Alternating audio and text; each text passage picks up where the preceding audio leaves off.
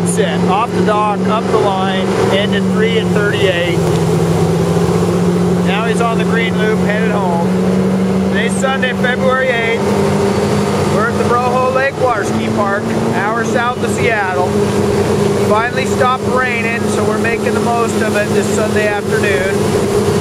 Water's in the mid 40s, air's in the mid 50s six months and is Big Dog Broho. For more information, go to NautiqueBigDog.com.